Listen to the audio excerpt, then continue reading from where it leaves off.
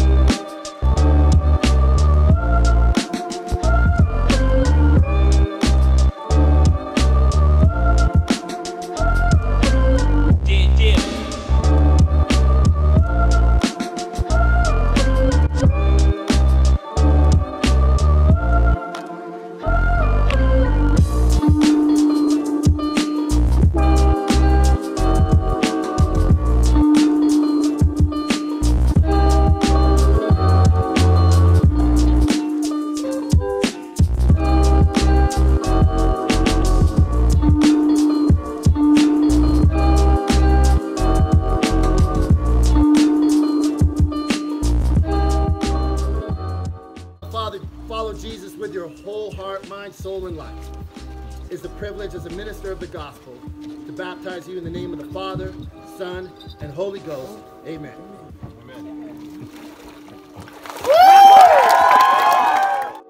I want to get to know you. Though. I want to get to know you. I'm trying to get to know you. I'm trying to dance with you. I'm trying to swim with you.